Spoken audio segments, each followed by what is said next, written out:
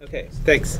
Um, next up, we have Mike Stewart, who is going to introduce us to the Intel compiler on Edison, and maybe mention anything that might be different between the the Hopper and the Edison environment with Intel. Even I don't know if you had anything in there. Well, yes, that's actually probably the prime. Okay. Despite these various titles here, which we uh, uh, we got, we were coming up with this before we got Edison. So we had. Uh, we're just thinking, well, what were we going to call this? This is basically the Edison programming environment and uh, differences with Hopper. And as a matter of fact, that you end up talking mostly about Intel because there really aren't many differences with the other uh, two compiling environments. Um, Before I give you the introduction, I'll give you the caveats. This is not, uh, this, the uh, Edison programming environment is a moving target. Uh, it's, we have a lot of Cray, as uh, you've probably heard, to, uh, uh, to uh, make it easier to use, for we have a lot of requests for changes and such. All this does is describe how you compile, link, and run codes now, and uh, how it's different from on Hopper. And as I say, there may be major changes to this environment by the time uh, we accept this system.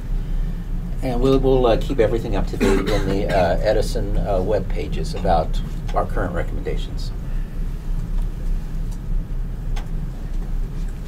Okay, well, here's going to be the basic structure of the talk. I'm going to talk about, well, mostly the differences. Who cares about the similarities between Edison and the compiling environment as it, uh, uh, as it impacts a programmer and a code runner, since uh, uh, that's what my experience has been. Then I'll talk a little bit in more detail about the Edison Intel programming environment, which is quite different from uh, uh, the way it is on uh, Hopper and from the other two. Talk a little bit about porting from PGI on Hopper to Intel on Edison, and uh, since PGI is going to be gone. And I'll uh, talk a bit about some performance I got on the various benchmarks that I run on, on the system. These are the same benchmarks I run on all of our systems. Okay, you log onto the system and you start your compiling and running and stuff, and here's the differences differences you will notice. Um, Edison supports three compilers, three programming environments. Intel, which is the default, differently from uh, uh, uh, from uh, Hopper and as, and Franklin. Cray and GNU. Our uh, PGI and PathScale compilers are uh, will not be installed on the system. I didn't think anybody was using PathScale, but I got a request right today uh, from somebody who wanted us to port the PathScale uh, 5.0 beta compiler to uh, Hopper. So, so there are people out there who still use it. GNU and Cray, significantly, I think in the long run this may be one of the most significant differences, use LibSci by default for math library routines as we as they said in the previous uh, talk, you you can use MKL with either of them.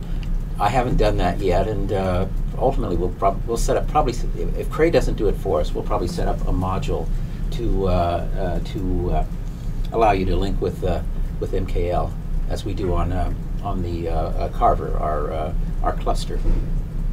Intel uses MKL by default, and it, uh, LibSci isn't available for Intel, at least at this time, on, on this system. And uh, we recommend people use minus MKL equals cluster, at least right now, as a, a load flag, though. Um, did you say that it should be a, a compiler flag too, or did we just need it load time?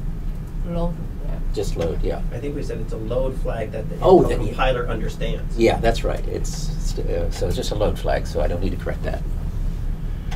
Um, another thing you you will notice, though uh, it's actually not uh, Edison specific, is that uh, Cray has changed the name of uh, several of the uh, uh, libraries that they provide, like NetCDF and HDF. They have now they're pre- prefixed with a Cray dash, Cray dash NetCDF. This actually exists on Hopper as well, and it's part of a long-term policy of Cray to change to replace those the original names with the Cray names, but uh, they uh, it's it's supported uh, uh, legacy still on Hopper. Eventually they'll go away, and you can only use the Cray Dash ones. But it makes sense not to start with the old-fashioned names on Edison. And as we have spoke quite a bit in the previous talk, the Intel OpenMP and the hybrid MPI OpenMP runtime environment, environments do not work, or rather, they do not work efficiently by default at this time. And this, we're sort of putting this here, and maybe uh, Cray will fix this for us. And uh, we'll uh, give the workarounds provided by Zhengji and Helen uh, later in this talk. Oh. Oh, okay. How come you're supposed to move? Oh, there. okay, Edison Math Libraries. Uh, GNU and uh, Cray Math Library is the same as on Hopper. It's the old tried and true Cray LibSci, been around forever. No, and again on Hopper, as, as it was on Franklin, no special flags are needed. Everything links automatically. Intel uses the, uh, uh, the MKL math library. And again, as I just mentioned previously, my MKL equals cluster as flag at link time to load it. Um, LibSci is currently not available for the Intel compiler. Currently, maybe it never will be, but uh, uh, at this point you can't use LibSci for it, as it, it is the default library on uh, Hopper. Okay, here's the, the details on the Cray uh, uh, module name changes. And oh, the two significant things down are there at uh, bullets five and six, or sub-bullets five and six. There are two Cray modules that are not yet available uh, for the Intel compilers, the PETSc and the Trilinos. Um, But that presumably will be uh, soon, I hope. And you can use these names in your Hopper make, fi- make files for the modules because they already, the names already exist. The modules already exist under those names on Hopper.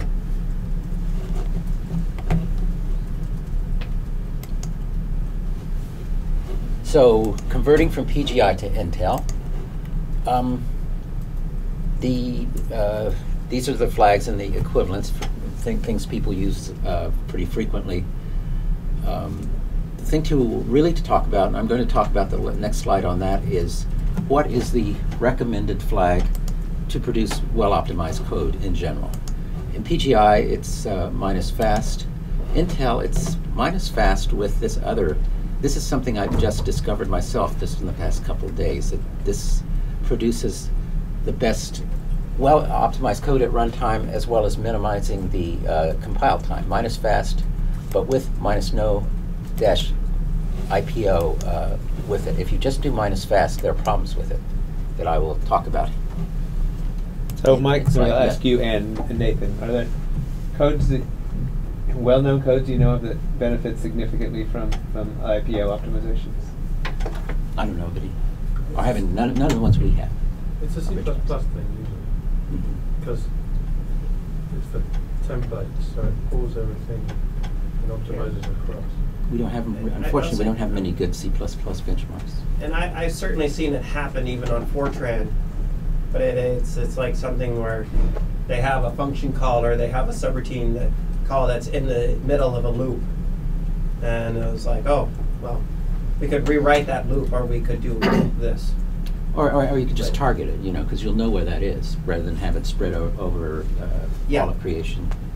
Yeah, and and e- exactly. I I even wrote a a, a um, benchmark once that intentionally had a call in the middle of a loop. And I did it for programming reasons, but then I I just did a, uh, a inline there. So it happens, but uh, Isn't there a compiler directive that you could? there's a Cray compiler directive Yeah. to to say inline this and to say never inline this.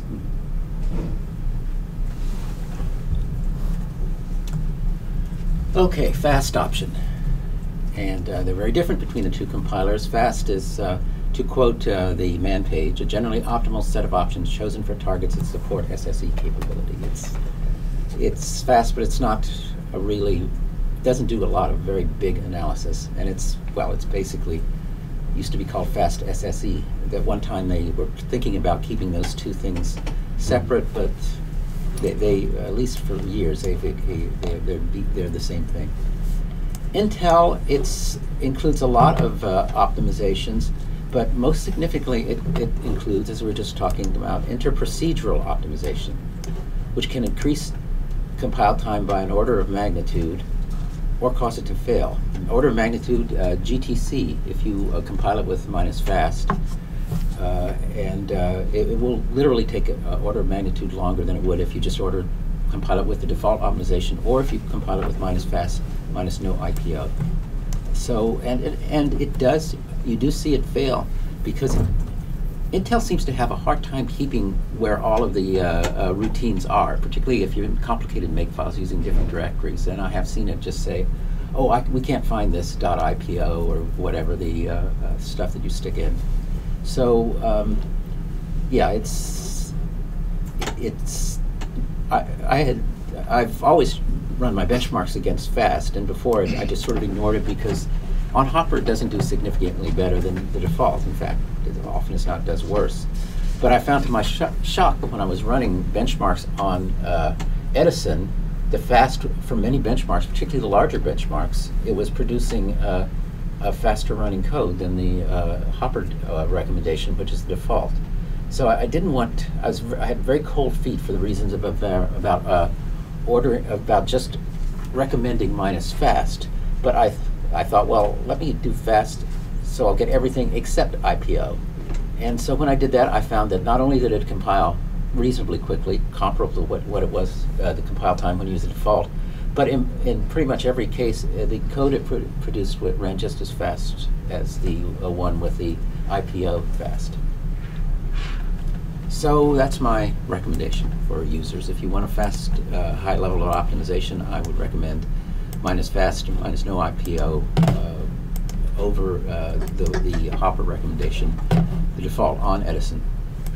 And as I was just mentioning, there was no significant improvement to uh, minus fast order, minus fast no IPO over the default on Hopper. I, I ran my benchmarks again on Hopper just to double check this. Does an executable carry evidence of the flags that were used to compile it? I don't think so.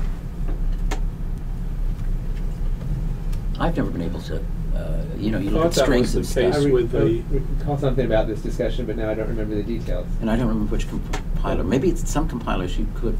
I would suspect the I- IBM you could do that. IBM, I think there was an Yeah, I think that's what I'm thinking of. IBM is very elegantly laid out and uh, a very modular set of compilers, so it would not surprise me. In fact, you would use it.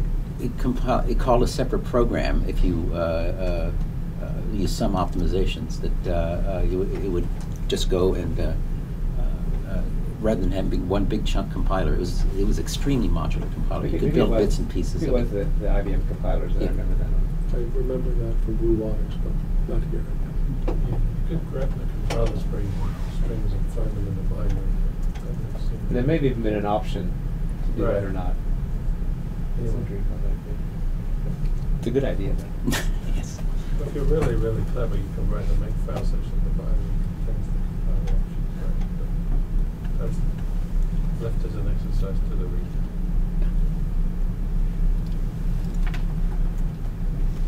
Okay, um, this is, uh, uh, we, we spent a lot of time talking about this, about the uh, uh, Intel hybrid OpenMP runtime environment. Um, I'm not going to be talking about hyperthreading in this talk. It was covered very well in the previous talk, and I haven't really experimented with yet, it yet, so I don't have anything intelligent to say about it. Um, as we know from previous talk, uh, Cray thread affinity settings, which make a lot of sense and a very good idea performance-wise. Uh, and I, Intel's uh, runtime uh, OpenMP environment conflict because of that awful extra thread there. Uh, so you have uh, two threads in essence on the uh, scheduled on the same core, and means uh, job takes twice as long as it should. So here's the current workaround, and I know this works because I've run a bunch of OpenMP benchmarks on it. It might be there might be other things that work too.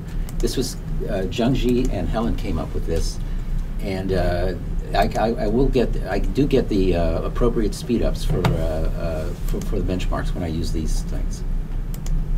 When you have you have two uh, two uh, conditions here, you have OMP num threads less than or equal eight. In that case, you set the KMP infinity affinity to compact and you run with a NUMA node, CC NUMA node uh, flag. If you have greater than 8 and less than or equal 16, KMP infinity goes to scatter, and uh, uh, you use the CC none uh, um, affinity flag. You, you break all affinity, rather. And again, these do work. There may be other ways of doing it, but this this will work. Compiler performance on Edison. Um, yeah, this is the last slide, but I will probably talk a little bit more than I have written up here. I have a bunch of NERSC 6 and uh, uh, NAS uh, parallel benchmarks 3.1.1 that I use to, to just sort of look at compilers and performance and such. All perform all compilers perform produce significantly faster code on Edison compared to Hopper. When I say significantly, on the average, you get a two and a half times speed up on on Edison over Hopper. And if that holds up for uh, regular uh, codes, that will be probably the biggest jump in per processor per core performance at NERSC since uh, the acquisition of the C90 way back in the early 90s. Um, the Cray and Intel have, at least on my benchmarks, which are don't use, just a couple of them even use the math libraries, have quite comparable performance, runtime performance. GNU uh, codes run on, on the average about 10% slower, but again, you can find the benchmark where GNU will beat the other two. Um, and to close up, this is going to be a very short talk um, uh, to compensate for the uh, previous ones.